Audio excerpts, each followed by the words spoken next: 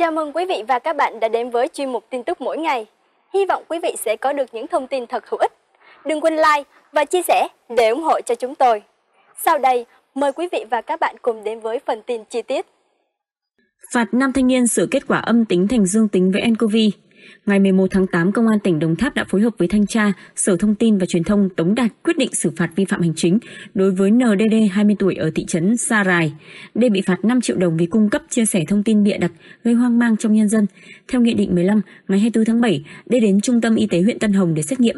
Hôm sau D có kết quả xét nghiệm âm tính SARS-CoV-2. Nam thanh niên này đã chụp lại phiếu xét nghiệm và chỉnh sửa kết quả từ âm tính thành dương tính. Sau đó D chụp hình phiếu xét nghiệm đã chỉnh sửa và chia sẻ lên mạng xã hội.